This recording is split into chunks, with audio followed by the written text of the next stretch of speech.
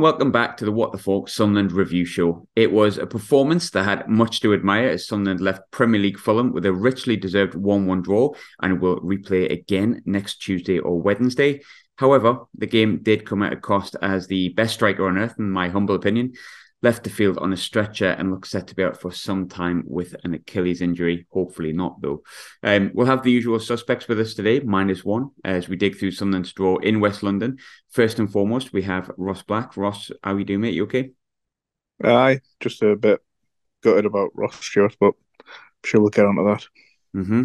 Uh, Dave, I'll give you a minute because you're chucking something down your throat, which sounds wrong in hindsight, but uh, how are you? Yeah, not bad. Just having a little diet coke break. Bad timing. But uh, yeah, plenty football, isn't it? Plenty of positives. The biggest negative possible, but yeah, no, nothing's bigger than the club. I hope Roscoe gets looked after in every sense of the sense of the phrase. Um, but yeah, still a lot of positives to take from the day, I guess. So yeah, yin and yang. Yeah, absolutely. Um, I think we'll, we like to always start with the positives, and thankfully the season has been absolutely loads. Today's no exception, Ross. Um, a one-one draw. Obviously, we're going to go to replay. I don't think any of us really wanted to replay, but it was a, it was a good performance. How were you feeling about the game today? Aye, brilliant. We played some of our best football this season. At times, I'm slightly frustrated that we didn't win. You know, the chances we had, especially Robertson Diallo, uh, one from Batth, and then we thought we had it. 15 year old off the bench in front of 6,000 Mackems. Like, it, oh, it was amazing. I watched it. I was like, saying to you earlier, I was up off my city, split my pants, jumping around celebrating, then realised it was offside and I had to sit down with my ball sack hanging out of my pants. Very sad. but on, on, on the bright side, though, we were mint. I think, like, the, the commentators, I think, I can't remember who it was. I think the co commentator might be Adam Virgo uh, and he was just saying like Sunderland are really having a good go here and they're playing brilliantly. And before the game, they were like, "Oh, uh, be interested how Sunderland hang on and see if they can sit in and take the pressure." I was like, "You've never seen us play this season, have you? We we can't play that way. We're a, we're a team that's better when we're on the, the front foot and we're pressing teams and having a go. We've got the some of the best attack in, outside the Premier League, so it just it makes no sense for us to sit back and just defend. And we played our strengths today, and I thought Jack Clarke has been getting a bit of a rough time lately, so I was buzzing to see him score. Um, I think he's he was brilliant at the start of the season. I think since the World Cup, he's maybe maybe lost his momentum a bit. But pressing from the front again, and he took his he finished it really well.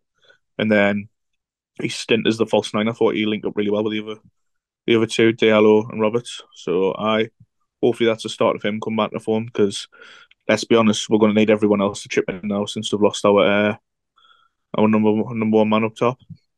Yeah, I was really pleased for Clarkey. Um, I think that he has been off form, but I think I've said a few times on this with Jack Clarke. The one thing I quite like about Jack Clarke is if a player's off form, the one thing I'll always ask him to never do is hide.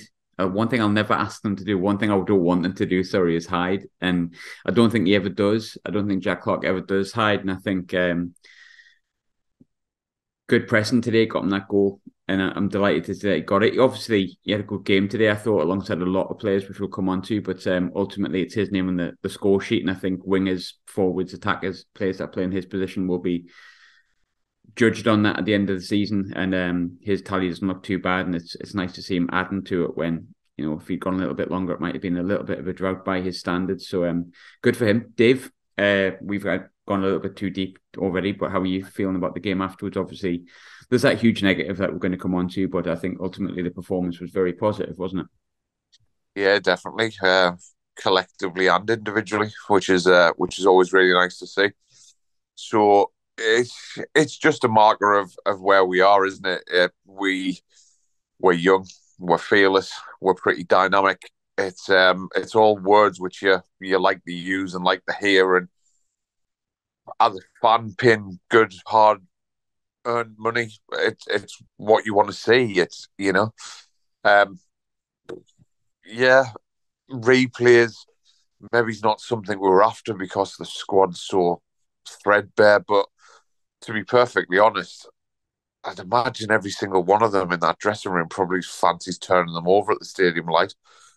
And yeah, what is this? What what's been the the tweet going around? Twelve months ago, six 0 off Bolton, six 0 off Bolton, and and now we're once again in a well, sitting here doing a podcast talking about disappointed that we haven't won a game. Now, don't get me wrong, Fulham have had their chances as well. So I think a draw in hindsight is probably very fair. But we've had enough decent chances and enough decent player to have potentially put one over on them. Yeah, I, I just don't think there can be any complaints again. It's it, it's bliss. It, it's really weird. It's becoming it's becoming too freaky to say that we really enjoy it. But yeah, of course, there is the there is the horrible side of the game, which we've lost Roscoe. Listen, anyone who religiously listens to us lot, we bang on about him week after week because of what he brings to us. We will come on to the Ross stuff. We need to go more a bit more in depth on that. But um yeah, ultimately, you know, really positive again. Obviously, there is that huge negative because we can't have everything nice. Um, but that's the on paper the, the seventh best side in in the in England at the minute. And to be honest, as I said in the preview show, I think it's a good draw because although Fulham are the seventh best side in the league, in the Premier League, sorry, they've, they've just been promoted.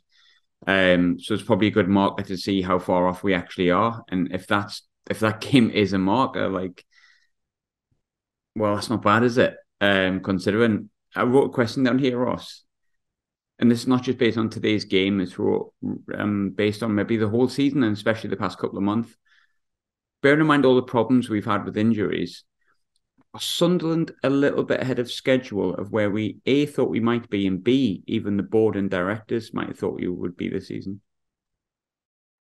Yeah, without a doubt. I think the messaging you get from Speakman and Mowbray is all about like three or four years we'll we'll be up there. We'll be con- we'll be expected to win games, and I think we'll be there next season. The way these lads are developing, I think we've overestimated how good our recruitment has been.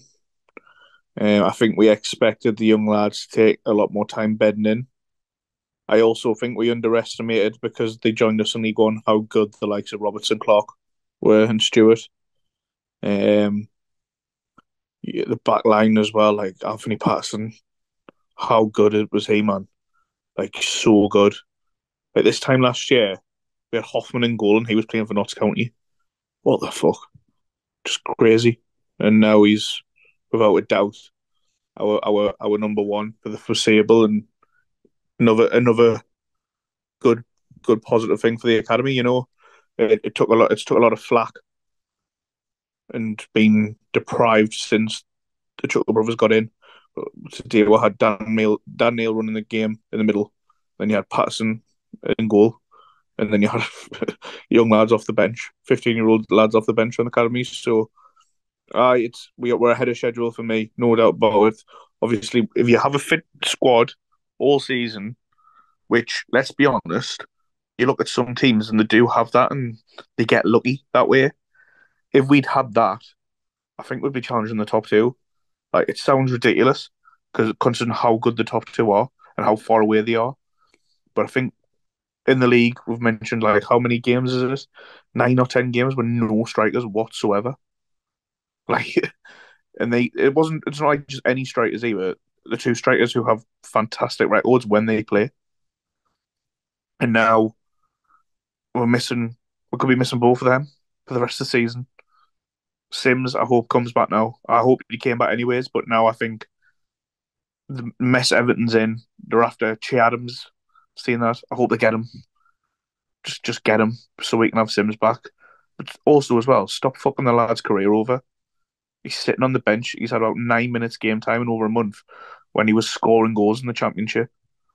Yeah, absolutely. I mean, I'm just looking at the league table here where four points off third and we've got a game in hand. Boro sitting in third. Uh, we've got a game in hand.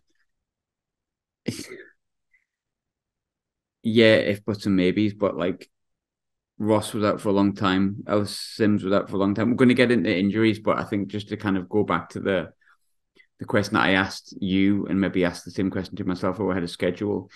absolutely. Um, I just I, I kind of don't want to miss the opportunity. I know a lot of people said they don't want to go up the season. I don't agree with that. Um, not to say I'm right, but for me, I think when you've got an opportunity, you've got to grasp it and then cross that bridge when it comes to it. Do I think we're in the top best six sides in this in this division? Well, I think we've just played really well against a really good Fulham team, and I know Fulham's like full first team wasn't out, but there's a lot of first team players in there and a lot of players that would instantly get into any championship team pretty much. Um, and I, I thought we were the better side today. I think I know Dave said he thought draw was a fair result, and I kind of am inclined to agree with them. But at the same time, I actually think we probably had the better chances.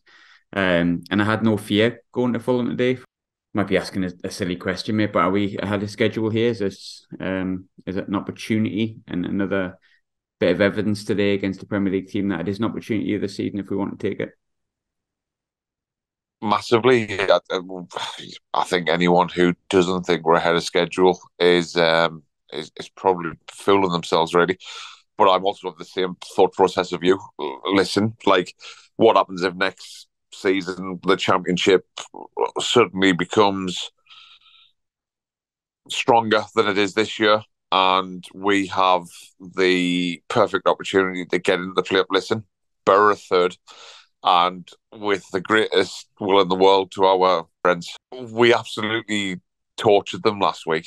Absolutely tortured them, and they're sitting third in the league. So, even if the board, which I, I tend to have a little inclination of agreeing with Ross, um, I, I think we will hold back to a degree. Um, I don't think you're going to stop them lads in the changing room wanting to win games. Uh, listen, they're professional footballers; they get paid for it, and they're buzzing. They're playing a decent brand of football. It's exciting, and I, I said a couple of weeks ago, if we did go up playing the style of football that we do, it might well just be suited to the Premier League yeah, of course, you need a couple of experienced players in there. Listen, if we still need two or three for the championship, we probably need five or six for the premiership. But there's nothing to say we couldn't do that. And and if promotion's there on offer, listen, nobody's going to turn it down. It's impossible to turn down. So, yes, I think we are massively ahead of, of where we expect to. But there is players in there. Jack Clarke played Premier League football. Patrick Roberts played Premier League football. Um, you know, why not? Why not give it a go? It'll be interesting to see where we're at next Saturday against Millwall because it's a horrible place to go and try and play football. They've got a bit of a fortress down there. Um, they always have had made it a difficult place to go. But I just genuinely don't see anyone stopping us from scoring every week. Does that? Of course, we've got to keep out the other end, but I can see us turning up and scoring not even just once. I can see us scoring two, three goals a game. Take some take some effort to turn us over if we're scoring twice a game. That's for sure. Yeah, I feel like quality we've got going forward, like Diallo, Roberts, Jack Clarke when he fancies it, Ross when he's fit, like some of the quality we've got in those ranks, and I've not even mentioned the likes of Pritchard and stuff like that, who I think is massively quality. Um, they just give me loads of confidence, and and again, it goes back to what I said before about not being that worried about it being Fulham today. I really, really wasn't. Um, but what taken away from the attacking stuff, Anthony Patterson, Ross, you touched him a little bit before there's loads of good individual performances, and I'm going to ask you who stood out for you. You've said Pato already, so I'll, I'll touch a little bit on Pato, some stats today. 39 touches, 10 saves, eight of them inside of the box, five long balls completed, and one high claim. Um, but take the stats away from that. Anyone watch the game today we'll see how good Anthony Patterson is. There's a really small set of fans I've noticed are not 100% sold on Anthony Patterson, but for me, bold statement here but is he the best goalkeeper we've had at Sunderland since Jordan Pickford? Yep. He's played at the highest level since Pickford was our keeper. Um, the only other championship keepers we had at the time were um, Lee Camp, who we signed on this day a few years ago. Oh, on the day of recording. Sorry, sorry to bring that up to everyone's memory. Faces of Graham and Dave look very grim when I mentioned his name.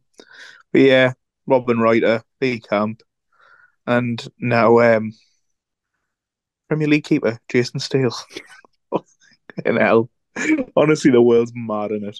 But I, he's without a doubt, he's he's just came on so much, and again, it goes out to the the goalkeeping staff I had last season, David Priest, and then oh, his name has passed me by. So I, think this feels very rude. Mark but the new Curry. guy, yeah, Mark oh, as well, but a new head of yeah. goalkeeping. The Italian sounding Yorkshireman. That's the guy. He seems a really good guy, to be fair. Um, but again, he's came on leaps and bounds, and it's very interesting and slightly worrying that Bass was brought in to be our cup keeper basically, and he just, he just knew today. He was like, I cannot play him against this level of opposition. And it was today was a good showcase for that, just to prove how good we are. Like Five Live was supposedly saying how everyone was shocked at how brave we were. I think that's a thing about bravery. But defensively, Patterson, you mentioned him there, but another one as well. The two centre halves, Ballard and, and Batth, just just so good, so good. The block off the line by Ballard, which just bounces that. off him and went to pass. it's, it's it's just it's just that awareness as well at that age to get on the line. I think recruitment wise, we go back but defensively, I'd be happy with leaving the defence alone, and I'd be confident in that defence. Even next season, I'd take it on. Obviously, there's rumours about Wright going and maybe someone else younger coming in, but I think as well. You think we didn't have certain there today, didn't have Luke O'Nien, didn't have Bailey Wright, and we still looked. We went toe to toe with a Premier League strike force, and it not just Premier League strike force. And I know they made changes, but the, the players they brought on absolutely pissed the championship last season.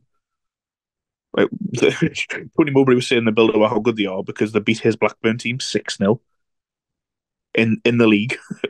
they are a very good team, and um, yeah, we went toe to toe with them. Like say individual performances like that. Just I think the defense needs a good shout out because clean sheet against Boro and didn't really give them a sniff 11 v 11. I think we got a bit complacent.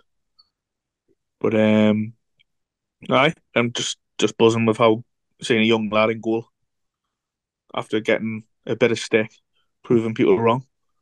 He's one of our own end of the day. We're going to touch on the Stewart stuff. I know people want to hear about it, and then we're going to go into some um, transfer stuff as well because I think there's only so much we can say about how great today was. Um, I think when we talk about players that need shout outs, there's too many of them to shout out this week. Michut was brilliant. Hume was brilliant. The fans are brilliant. Always are. Tremendous. The, the noise, the noise in the crowd today, and we were pressing from the front and getting at them. It was like we were at home, and it was mentioned on the commentary just how loud we were, and so the stand was the, the stand was shaking when we scored. Tremendous. I never doubt them. That's the thing. I take it almost for granted because I'm just like our away fan base is just out of this world. It's silly sometimes, isn't it? If we can start matching the atmospheres and make away from home at home, it would scare teams. It honestly would.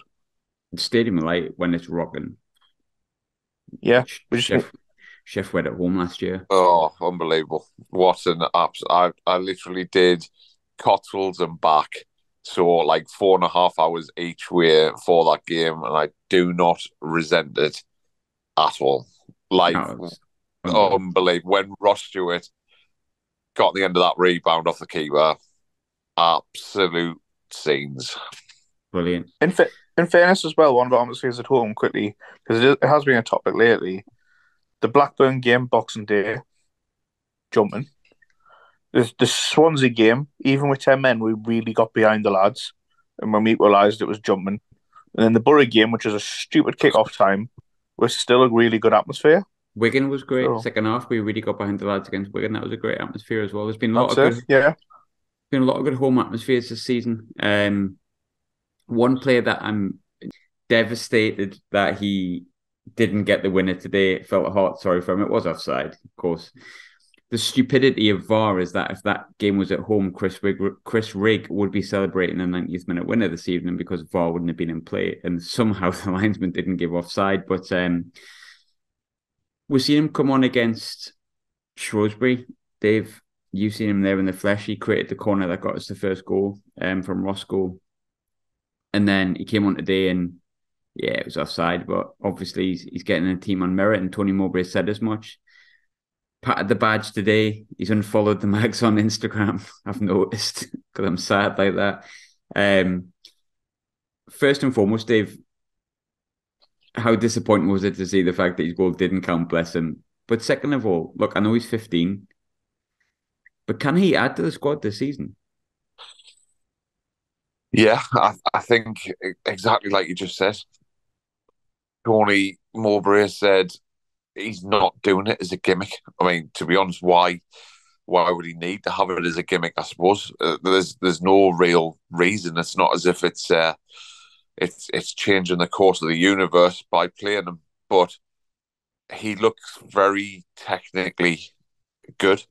Um, and then once you start doing the comparisons that this isn't a professional footballer of four or five years, this is a 15 year old schoolboy. And you you you look at him, and I saw him down in Shrewsbury. He played a part in both goals in some way. Um, left foot looks a little bit wicked, to be honest. Um, and the fact that, by all accounts, his attitude seems absolutely spot on, fearless, brave, wants the football, but also off the ball, he's got a bit of a a bit of agginess about him, so to speak. He, he likes putting his foot in the challenge. He doesn't care who he's playing against. It could be anyone. Um, and and I almost listen. This is a this is a big big thing. Um, but I almost see in little glimpses, and bearing in mind we have only seen like twenty odd minutes of him over two game, two cup games, but there's almost a little bit of swagger and attitude of Wayne Rooney about him. Um, now, I'm not saying for a second that he's as good as Wayne Rooney was, or is going to be as good as Wayne Rooney was at 16 year old. But there's definitely that there's something there, which is probably why all national outlets uh, turn around and saying that he's the most exciting teenager in the country, and United and Liverpool and and everyone like that are looking at him week in week out. Um, listen, kid's obviously got scruples about money. He's unfollowed the barcodes, and it's just it's just sensible, just the right thing to do. He's he's been brought through um, and made his decisions pretty much alongside uh, the young Mason lad, doesn't he? And he said, "Listen, you know, we seem to have chose right. We're we're learning our trade. We're getting close to the first team in terms of getting on the bench and stuff, and also training with the first team. And when you see us playing football the way that we do, you probably uh, you probably be quite excited to join in amongst all that. I would have thought. Ross, same question to you. Um, I don't want to put pressure on the kid at all, um, and we've just done it. So there you go. Sorry, mate. Um, but he does look good. Like, was it if they're young enough, they're old enough? Like, he's making a difference when he's coming off the bench, and it's only twenty minutes here or there. I don't think he'll. I'm not saying can he start games, can he replace Ross Stewart, but could he potentially win at some points this season by you know coming on? He, he looks like he can add stuff for me. Um, am I expecting a bit too much? Um, yeah, I think there'll be certain games where be best suited to less physical sides, but even just being part of the match day squad's huge. He's 15 year old. He's at school doing his GCSEs. Eh, eh, he, he's training twice a week on on release from his school with first. And to me, that's another thing. If he's training with the first team, and he's he's not, you know, I mean, he's clearly shown something in training to get on the bench and get brought off the bench as well. It wasn't like when he's been brought on, we've been like three or four nil up, or three or four nil down, where the game's gone. He's came on when we've been one nil down, and when we've been drawn one one with a Premier League side today, nonetheless. So I trust Mowbray to know exactly what he's doing. I think that's one thing Mowbray has definitely shown. He knows how to uh, treat and get the best out of young players, and he did a piece with the not the top twenty podcast video, which was fantastic. It's on YouTube. You can see it. Did an interview with uh, George Elek there, and you can just tell he, he's he's fantastic for these young lads. He knows what he's doing. Kind of, we're almost past the point, aren't we? Of like, does Tony Mowbray deserve praise? We're kind of just comfortable with him now, and I think that's the ideal situation for us. But um, I don't want to come onto it. I can't be asked to come onto it. It like I'm absolutely gutted for him, more so than us. Like you could see in his face today. Ross Stewart, of course, is who I'm talking about. When he went down, you could see he was gutted. Um, I'm praying that the scan's not as bad as he thinks. But obviously, Achilles is not nice. I've known a few people who've done their Achilles and it's minging and it's certainly lengthy. And obviously, the club have kind of prepped us, I think, for some potentially bad news to come. But, you know, let's keep our fingers crossed and try and manifest it. But looking at the injuries this season, right? So, players that have suffered injuries that have kept them out for three games or more this season Corey Evans, Dan Ballard, Dennis Cirkin, Danny Batth, Elliot Embleton, Lynden Gooch, Ross Stewart twice, Alex Pritchard, Edward Mathieu, Aji Alese, and Ellis Sims. Long term in that is Corey Evans, Dan Ballard, Elliot Embleton, Ross Stewart twice. Ellis Sims was pretty much long term because it was over two months. That's a lot of injuries. Um, Ross is obviously a, a devastating one, Dave. I feel like Ross is irreplaceable. I've said this before, but I don't know. I'll throw a really difficult question to you. How do we how do we handle the fact that he's obviously potentially going to be out for the rest of the season and, and maybe more, unfortunately? Yeah. Um, well, well, I guess instantly everyone suddenly turns to Joe Gelhardt, which is which is perfectly um, understandable uh, I get the feeling from from the way people speak about Gelhardt that he'll feel as always ready to to step into the breach, so to speak. We play.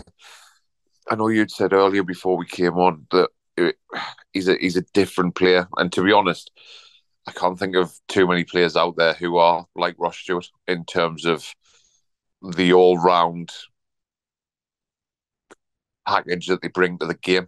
Um, so in terms of dipping into the market to try and find someone to replace Ross Stewart, whether it be short term, medium term, or long term, just becomes horrible, especially especially in terms of a, a, price tag, especially in January. We all know it's hard to find players.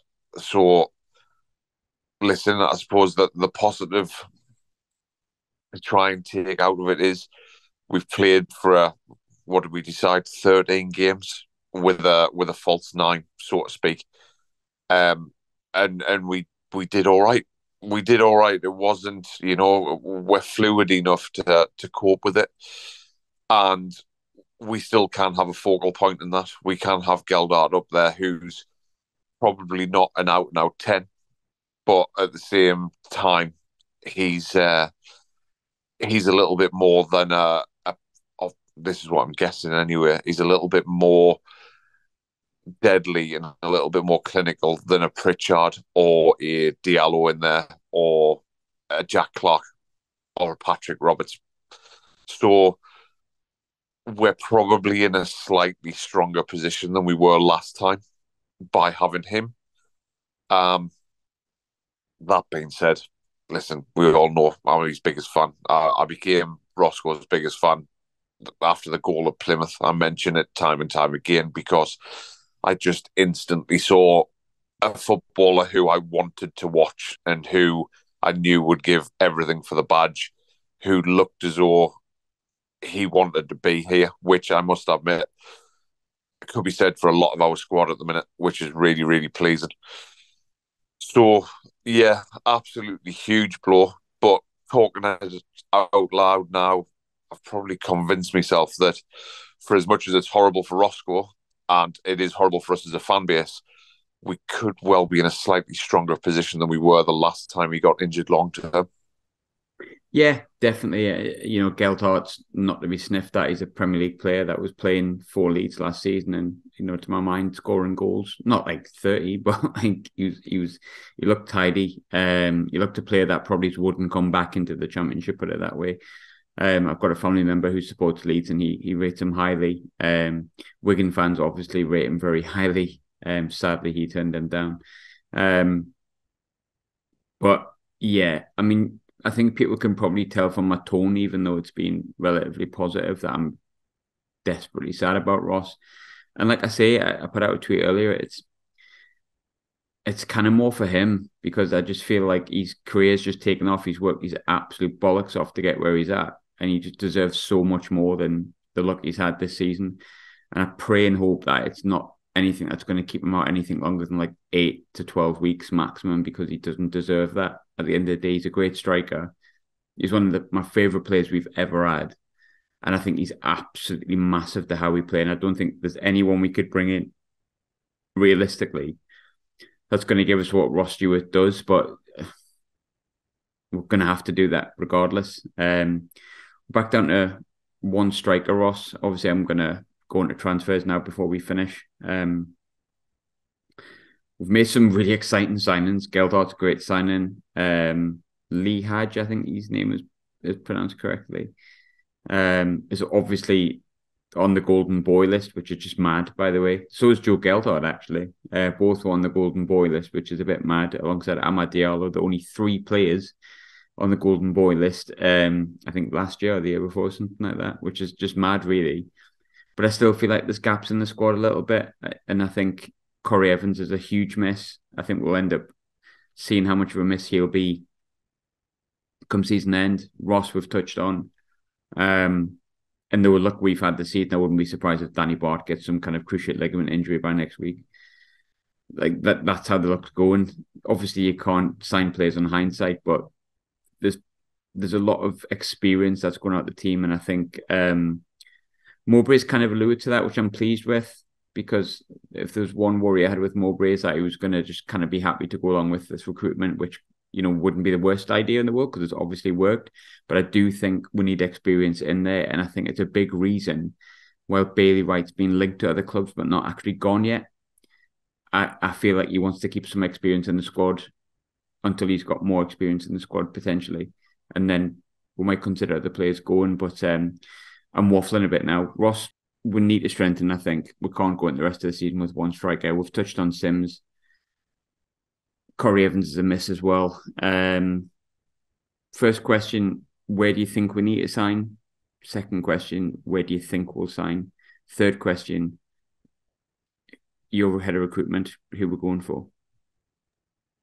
Oh, that's some questions. Um, first of all, we need minimum one, hopefully two strikers on top of Gelhardt for me. Um, an experienced centre mid, I think would be good too. But I can see them maybe the performances of Edouard Michut changing the ways because the last two games he's been fantastic. So that might change them a bit. I think if, especially now we need two strikers, if the budget was to stretch, I think that's where it would go rather than centre mid. Um, and I, I don't know why, but I've got a feeling that Bailey Wright will go. So we'll need another defender. And we've been linked with another one as we record. Everton's under 21 captain, centre half. Suits the model perfectly. Do they feel like Ballard's experienced enough now and he's second full season as a championship player? But yeah, if I'm head of recruitment now, who do I go and get? But Ellis Ellis Simms is a perfect one. Everyone's talking about the sounds coming out that he wants to come back as well. He must. He must want to. You you can't as like a twenty one year old striker look at Sunderland in comparison to where Everton are going at the minute and think, yeah, my, my, where I'm going to be best served here is Everton sat on my fucking ass, as opposed to signing for Sunderland, where you know what, every young player seemingly under the age of 24 is like blossoming under like this granddad guy that you see in Revels. Do you know what I mean? Like, there's app like I know Ellis Simms like will want a chance in the Premier League. And I know he's probably been quite excited when he first went back because he thinks I can make a mark. But the way the first few weeks have gone, the things that have happened at Everton, he must be like, fucking hell, get me back to Sunderland. I just want to play football. I just want to score goals and I want to like football again because, and I, I really like Everton as a football club. To use a cliche, I feel they're a proper football club. Um, but you cannot possibly be at Everton at the moment as a fan, a player, a staff member, and be enjoying football. You must want to like poke your eyes out with like hot pokers. It's awful. Ever- Everton just remind me of what we, we used to be like. And then I've seen, I've even seen some of their fans saying, "Oh, maybe we need to go down and we rebuild." And I was like, "Oh God!" I remember some of our fans saying that, and I was like, "It's just we. brought- I'm sure, like bringing we brought Connor Wickham back to survive. They've tried to bring Simms back because we didn't have any money to buy a striker. It's just, it's it just repeats itself. And but yeah, Simms no doubt will want to come back. I have no doubt about that. Um, for the second striker, I'm unsure. But do you get an experienced head in, like I've said, or do we go abroad and take a gamble on a young lad? It's a shame that Nemeth has decided to go to Hamburg, but also I think he's went for a million pound, which for someone who's out of contract for six months is a lot of money.